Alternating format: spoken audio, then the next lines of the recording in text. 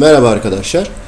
Türkiye distribütörü Macmeos firmasının olduğu HX marka botları inceleme devam ediyoruz.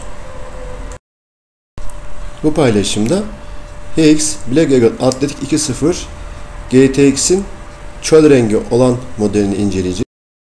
Bir önceki paylaşımımızda bahsettiğimiz gibi HX bu renk modelde de aynı yeni tip bağcık sistemini kullanmış. Bağcıklar küçük bir aparata bağlı. Bu aparatla bağcıkları gevşetip ya da sıkabiliyorsunuz. Bağcıkları daha sonra kalan kısmında botun kulaklık iç kısmında bulunan gizli bir göze yerleştirip dışarıdan da göze görünecek bir şekilde saklayabiliyorsunuz. HX botlarında bu şık ve kullanışlı sistemden başka fermuarlı sistemler de kullanmış.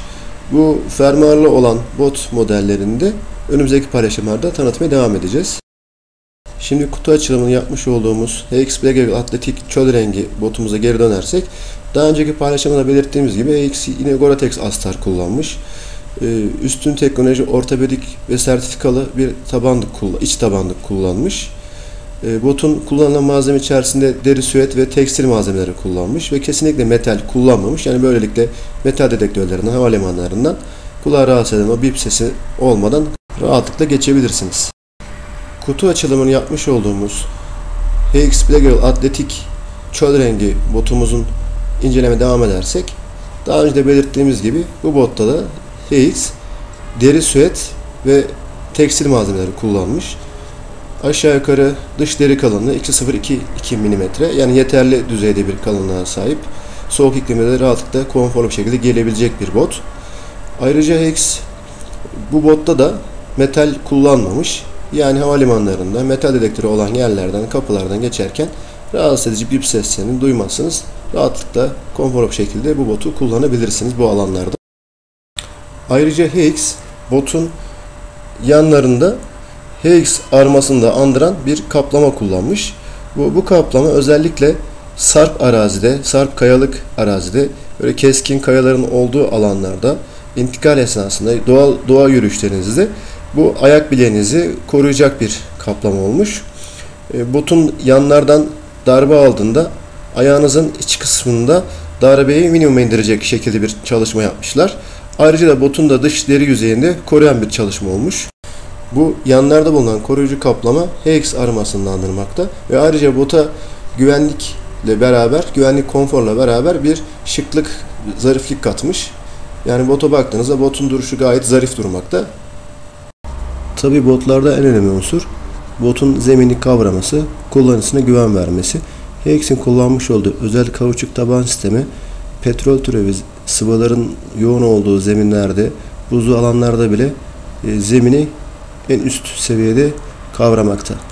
Hex'in geliştirdiği bu özel kauçuk taban kullanıcısına üstün bir zemin kavrama sağlamakla beraber aynı zamanda sessiz bir yürüyüş de sağlamakta. Yani yürü, yürüdüğünüzde e, çoğu botta gelen o gacır gucur rahatsız edici sesler ve sizin yürüyüşünüzü etrafınıza e, duyuran, hissettiren o sesler HX'in özel taban sistemiyle ortadan kalkmakta. Bu tabanın diğer bir özelliği de esnek olması.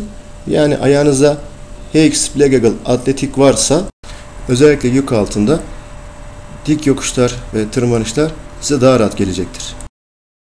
İyi bir botun diğer bir özelliği de rahatlıktır. Özellikle de benim gibi geniş taraklı ayakları olan insanlar e, bot kullanırken çok tedirgin olurlar. Yani bot burun ve topuk kısmından rahat olsa da e, özellikle yük altında uzun yürüyüşlerde, intikallerde e, yanlardan rahatsız etmeye başladığında artık bu sorun belli bir süre ve mesafe sonra hayati bir problem haline geliyor. HX Plegagle Atletik'te böyle bir problem yok. Yani geniş taraklı ayaklarda gayet rahat edebilir.